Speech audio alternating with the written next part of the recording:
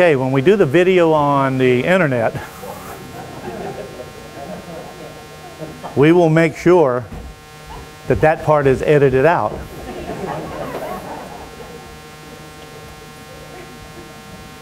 I don't know how to follow that. Well, amen. If, you, if you're glad to be here this morning, say amen. amen. All right, as we are continuing our current series, Encounters with Christ. If you have the Word of God all over the sanctuary, whether in digital or printed format, hold it up over your head.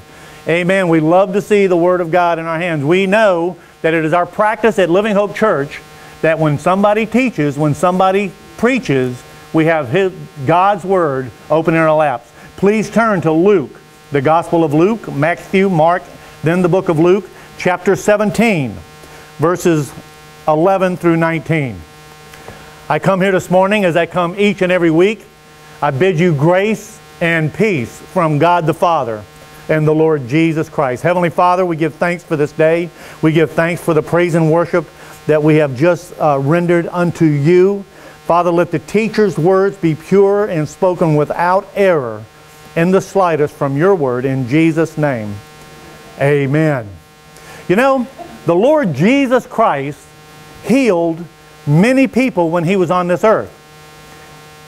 He healed the blind. He healed the lame. But there are two miracles that are reported in great detail.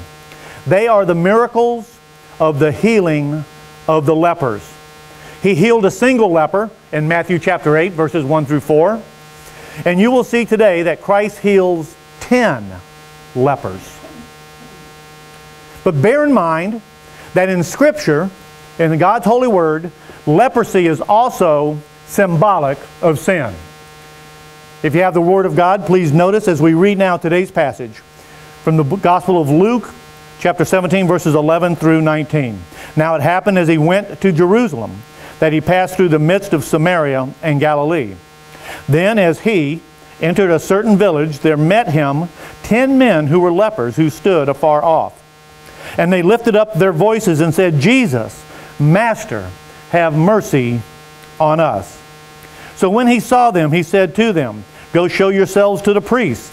And so it was that as they went, they were cleansed. I'm going to read that once again. So it happened. So it was that as they went, they were cleansed. And one of them, when he saw that he was healed, returned and with a loud voice glorified God and fell down on his face at his feet, giving him thanks and he was a Samaritan. So Jesus answered and said, Where were there not ten cleansed? But where are the nine? Were there not any found who returned to give glory to God except this foreigner? And he said to them, Arise and go your way. Your faith has made you well. You have to understand what leprosy meant in those days. I want you to imagine this. Lepers were the outcast. They had an incurable disease. So imagine, fathers, one morning you wake up and you notice a slight numbness in one of your fingers. And you don't think anything about it. You go about your work, but then after a few days you notice that numbness gets a little, a little more and a little more numb working its way through your hand. And then your hand starts to turn whitish and lumpy. And you know what that means and you tell your wife, I need to go see the priest. You see, in those days, the Mosaic law demanded that you present yourself to the priest so he could tell you and, and, justify what was about to happen. And so the priest would take a look at your hand or whatever part was affected, recognize it as leprosy, and cast you out of society. Imagine not being there for your children, not being there for your wife, not being there basically for any significant human fellowship whatsoever. Imagine the loneliness, the pain, the grief as you would, you would come close and try to observe your family from a distance. And you would see your, your children as they would play, and you're not part of that. You would see your wife as she went about her business, surely struggling without you there to, to help along the way and your heart would just be crushed by what has happened in your life.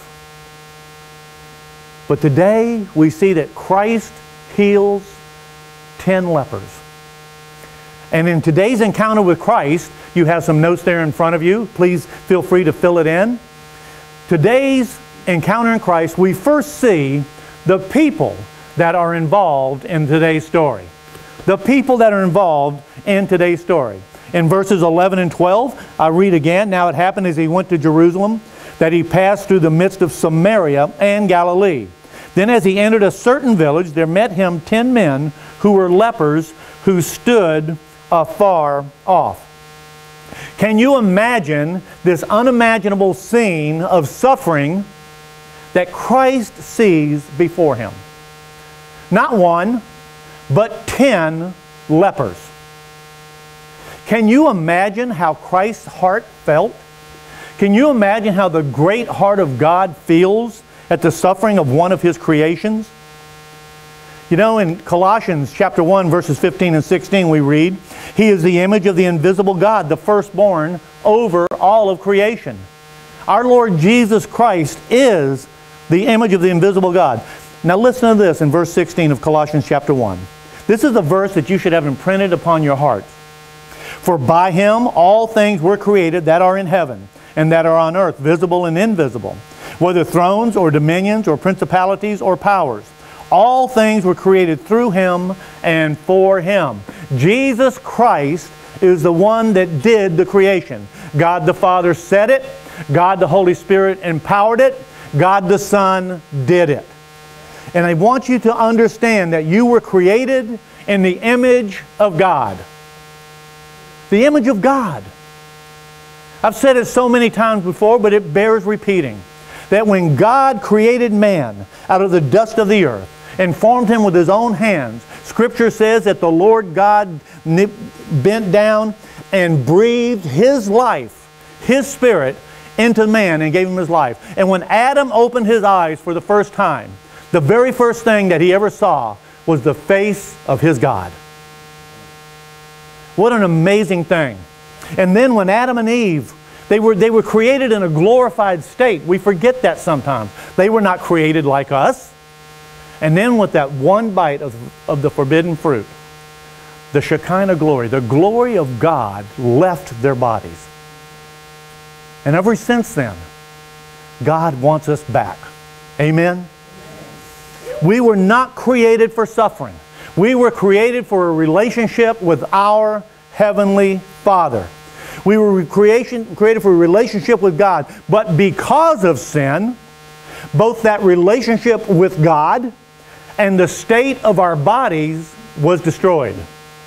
If you think not, how many of you in this sanctuary are over, say, 45 years old? You don't need to raise your hands. Are you happy with your body? Are you excited about what's coming in heaven? Say amen. Yeah, all you young people don't know what that's like yet. But, but you, you folks that are a little more mature understand. You see, that, that state of our bodies was destroyed. All of humanity has corrupted bodies, and all of humanity as well has corrupted souls. Hundreds of millions of people with disease running rampant in their bodies but this is even more unimaginable. Seven billion people plus with diseased souls, except for those that have been re redeemed by Jesus Christ, our Savior. What an amazing thing. You want to talk about miracles? It's a miracle that Christ ever set foot on earth. It is a miracle that he left the glories of heaven to set foot on a diseased, corrupted planet.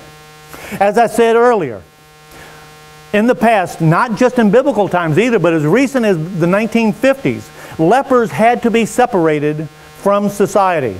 Look at the last four words of verse 12 in your Bible. If you're there, please say amen. Now I'll say amen because I'm there now. It says the last four words says, they stood afar off. That physical separation that a sick person has because of their disease is a terrible thing.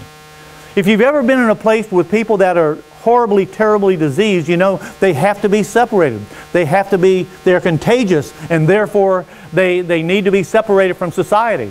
Nowadays, I think we're losing a little bit because we protect our children too much.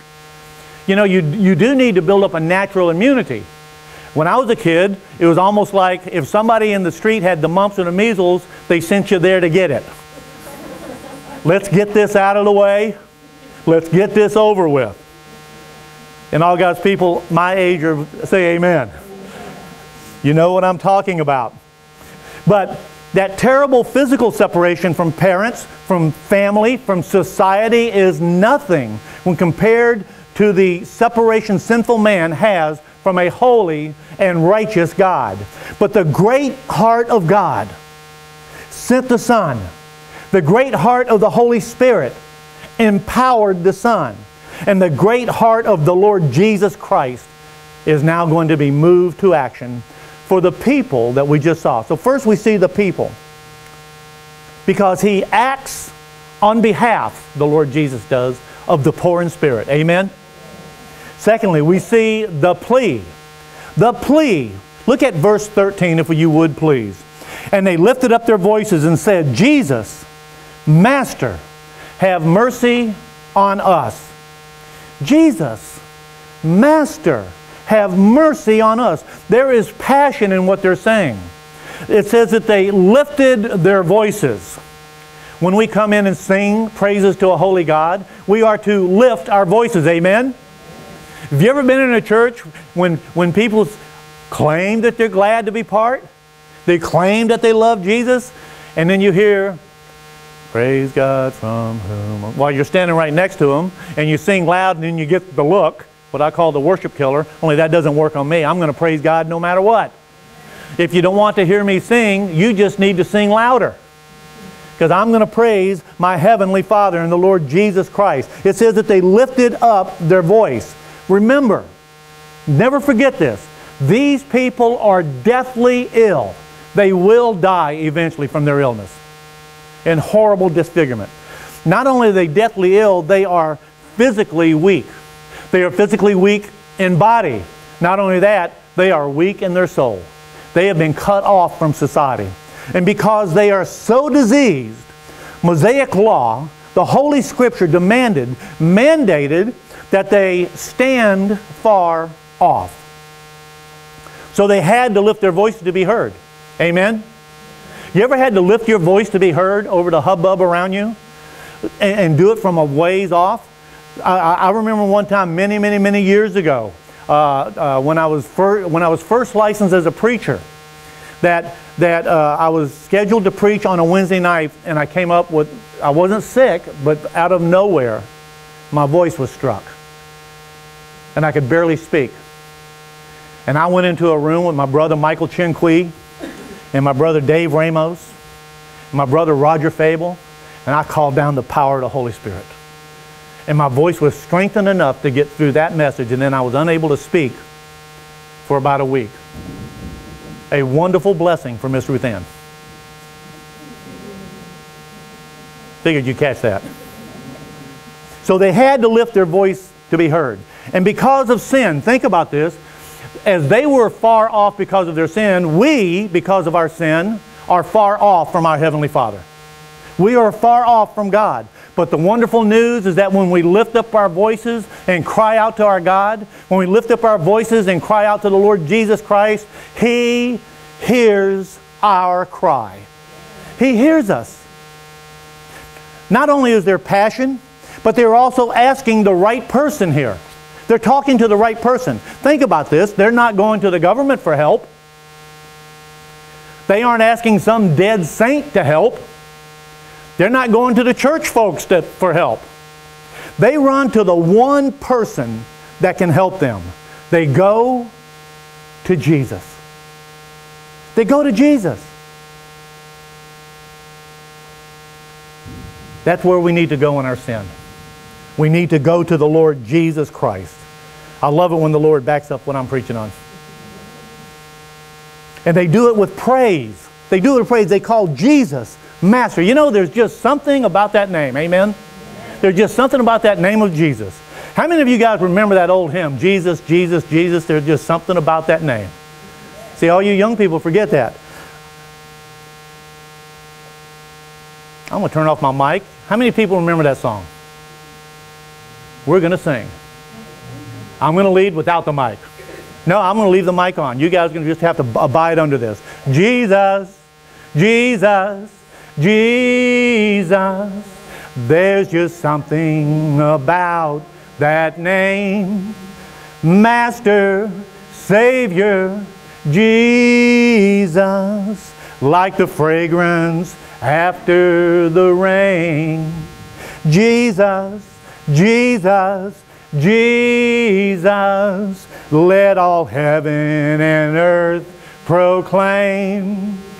Kings and kingdoms may all pass away, but there's something about that name. Hallelujah to the Lamb of God. I promise I'll never put you through that again. But there's something about the name of Jesus. I can't sing, but I want to sing. Amen. God bless you guys for, for, for, for dealing with that with me. I never get tired of praising my Savior. There is no one that can say anything about the grace of God to this old sinner here. Because, my friends, there is just something about that name. Now, let's look again at these lepers. Not only do they praise Him, they ask Jesus for pity, they ask Him for mercy. They are wisely looking for earthly, physical healing by turning to divine mercy.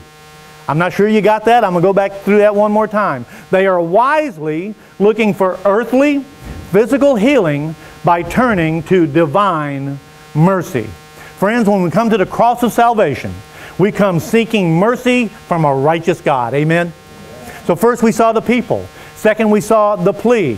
Third, we now are going to see the principle applied in this encounter with Christ the principle that is applied. Look at, if you will, at verse 14. If you're there, please say amen. Let's try that again. If you're there, say, please say amen. amen. So when he saw them, he said to them, Go show yourselves to the priests. And so it was that as they went, they were cleansed. If you want to be healed by a holy God, then don't be surprised that the one doing the healing wants something in return. If you want healing from God, don't be surprised when He asks for something in return. The lepers called out to Jesus. Jesus sees them and commands them, Go show yourselves. In other words, go present yourselves. You ever presented yourself? You know, usually when we present ourselves, we get dressed up, we get all nice, and we present ourselves when a wedding takes place, we present ourselves. The husband presents himself as a groom. And then nobody cares because they're all looking at the wife, the bride coming down the aisle to present themselves. And if you, if you are like I were, guys, you know that the first time I saw my wife in that gown, I, I lost my voice. I simply lost my voice. I went, Hallelujah. Praise God, looky here. Moving on. By the way, Miss Ruth Ann hates that when I, when I start talking about her. So they, they say, Jesus commands them, go show yourselves, present yourself. Where are they to go? They are to present themselves to the priest. Now listen, I, here's what I would have been thinking. Wait a minute. These are the guys that declared us unclean. What good is that going to do? If they could have done something to start with, wouldn't they have done it, Lord Jesus?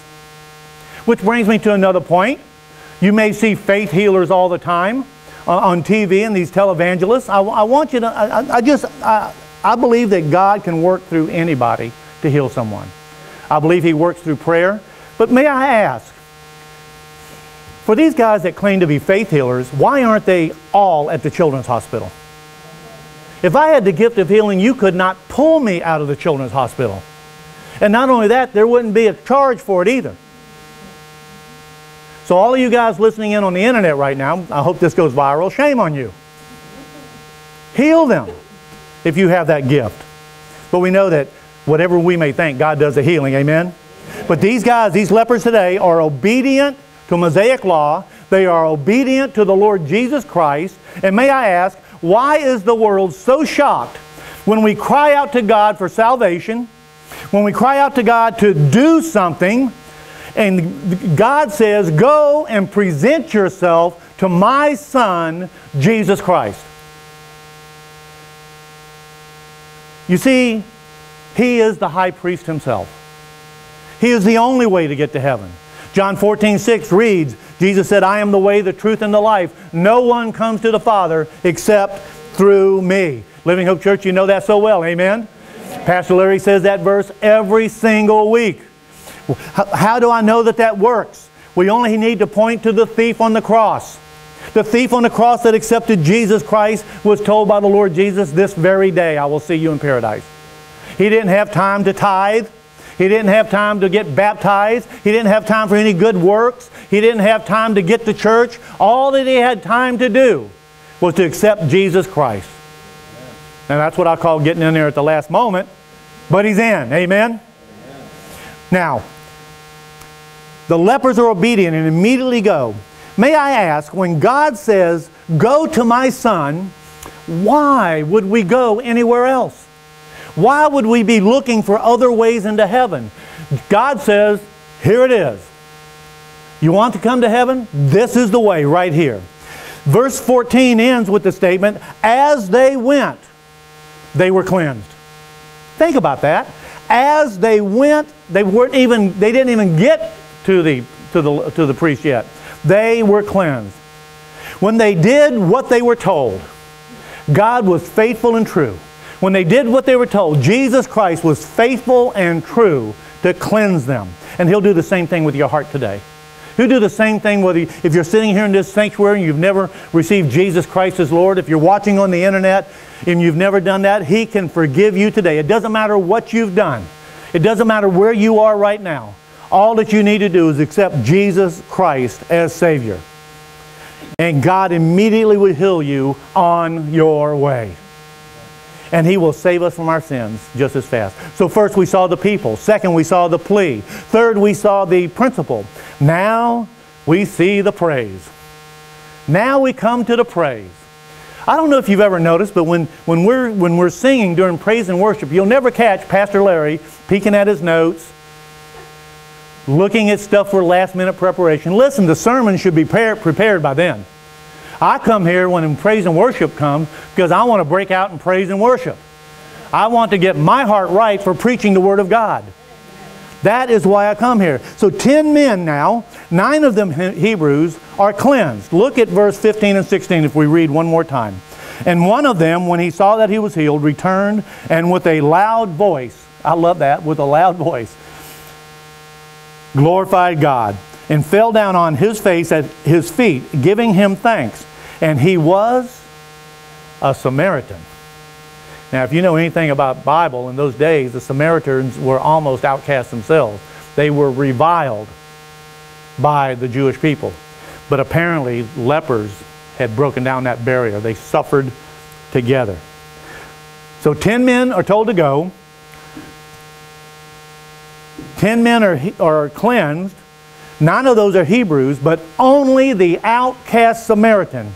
In other words, one in ten returns to the healer, Jesus Christ, and glorifies God.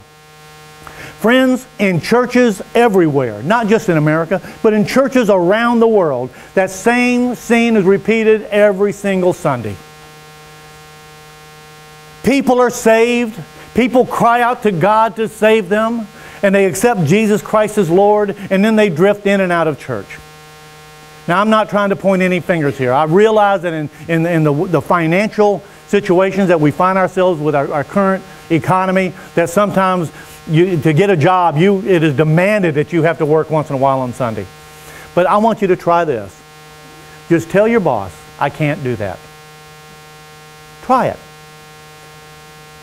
I would like you, Mr. Manager, I would like you, Mr. Boss, I know I agreed to this, do this job, but perhaps in six months would it be possible for me to once in a while not have to work on Sunday morning on my regular shift? Give it a try. See what God can do. The one thing that should be as common as water in the ocean, friends, is simple gratitude for our salvation. Amen? But there are far more that receive the benefits of salvation. There are far more that receive the benefits of healing than the, the, there are of those that return and give praise for the healing to the healer. We should never forget who the great healer is, who the great physician is. And look at the Samaritan in verse 14. What does it say? He gave praise with a loud voice, he glorified God. A loud voice. Listen, church, should we not render praise unto God with a voice at least as loud as the voice that we use to cry out to God? See, I thought I'd get a testimony there. I'm glad I brought my own. I say amen and hallelujah. I want to praise God at, at a minimum as loud as I cried out to God to do something with my life. But you see, so often people receive an eternity of mercy and return to give a weekly hour of praise. And sometimes that weekly hour of praise is rendered weekly, if you get the, the gist of my words. Friends, we are to share the gospel, but the gospel isn't something that we do. The gospel as Christians is something that we are. We are to praise God, but praising God is not something we do. Praising God is something we are. When you get up in the morning and open your eyes, you should, you, you should just, your heart should just burst out in praise of your Heavenly Father. When, when, when, you, when you get up and the legs work, even though they might be a little stiff for some of us older folks, when the eyes work, if you're breathing when you got up, praise God. Render praise unto our Heavenly Father. Praise should be eternal. Praise should be constant. Praise should be done with a lifted heart. Praise should be done with a loud voice of worship for King Jesus. And far too often, man returns ingratitude, or worse, indifference for God's great good heart. Do you remember verse 13? It says that all ten lepers came crying out to Jesus Christ with a loud voice. Why should Christ, when he does the healing, not expect all ten to return and worship him in, a, in at least the same volume of a voice, at least with the same outcry? You see, when we encounter Christ, Christ encounters us. Christ is looking for that encounter. Christ is seeking that encounter. Christ wants to heal you. Christ wants to give you peace in your heart. And when He does that, Christ wants that relationship to grow and grow and grow. I want it to be said that, that if I am not able to, to, to sing praise to my God, that, the, that the, the, the rocks and everything around me burst out in praise to my Lord Jesus Christ. The number that came seeking healing is far greater than the ones that came back praising. Listen, don't be one of those guys. Don't be one of those ladies and girls don't be one of those Christians. Don't be the one that comes with an ocean of prayer and comes back with a thimble full of praise. Let your praise equal your gratitude in your prayer. Praise should naturally follow our prayer. It's natural. And let us also think about this for just a moment. The nine were okay obeying the ritual. Did you notice that? They were okay obeying the ritual of the church. No problem with that. But they were not okay with returning to the feet of Jesus Christ. Let us never be afraid to be a church that's afraid to fall at the feet of Jesus Christ. What about the modern Christian?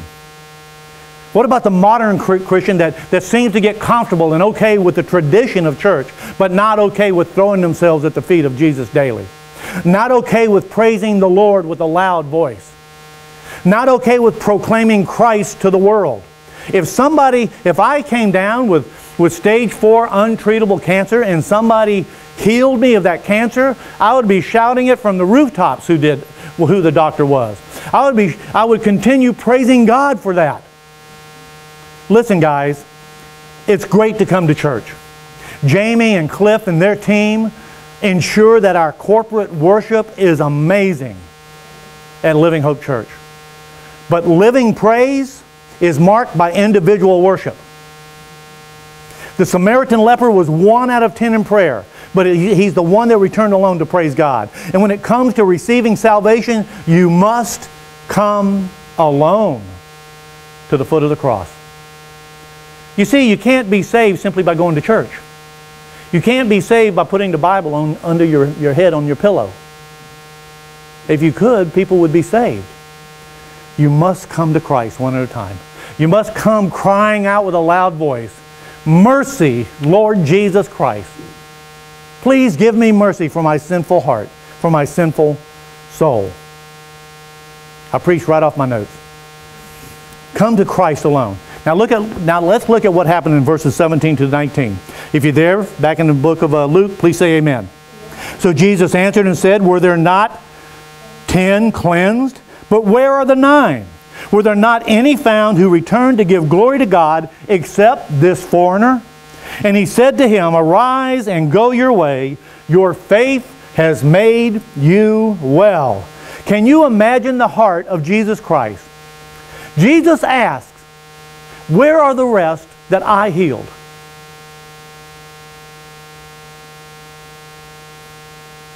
Now we see the grace of the newly redeemed. We're going to see the heart of this Samaritan that has been redeemed by God and just watch closely at how he feels. Watch closely at how he reacts to this question. When Jesus says, Where are the rest? What does the Samaritan say? What a blessing it is that the Samaritan doesn't slam anyone. He doesn't thump his chest, only I have come back, Lord.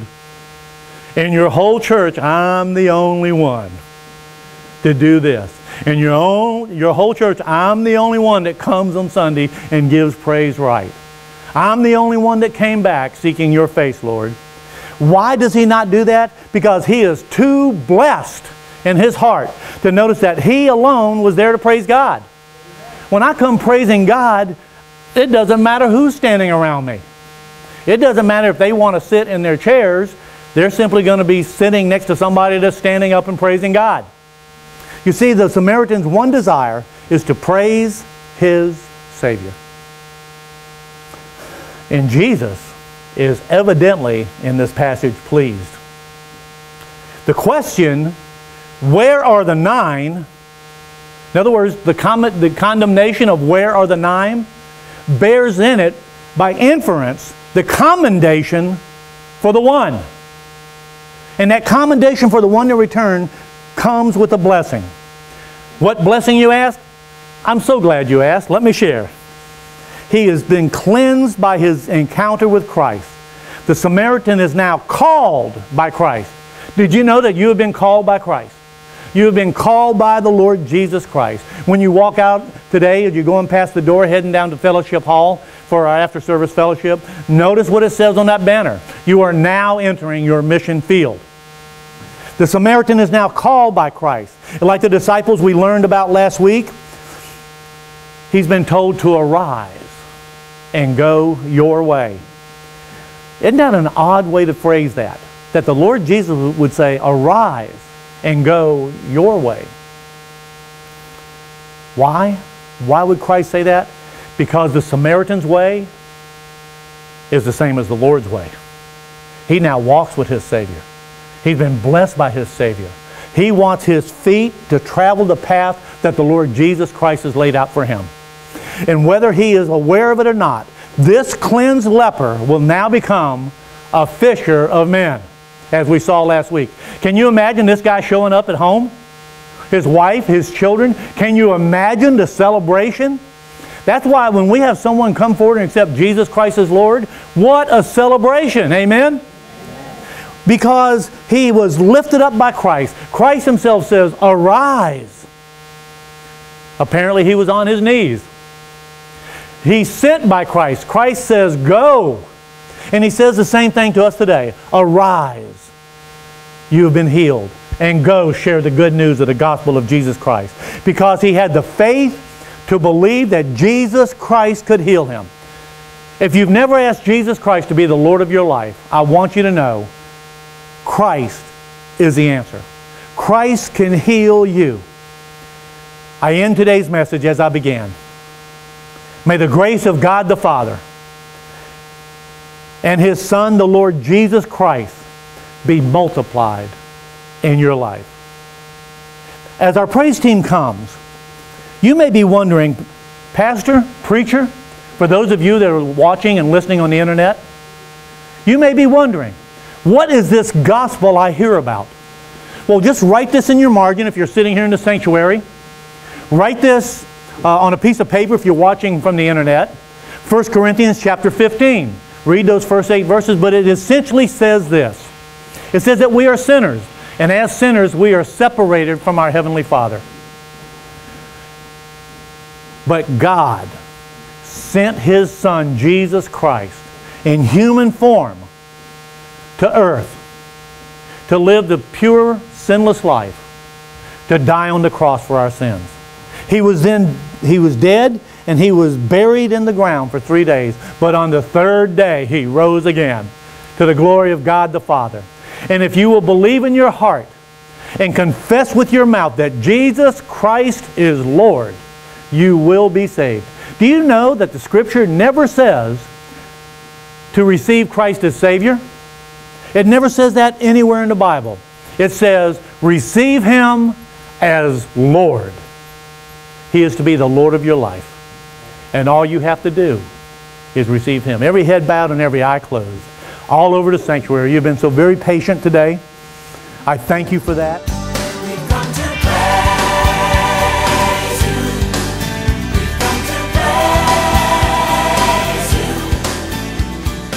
Thank you for joining us today.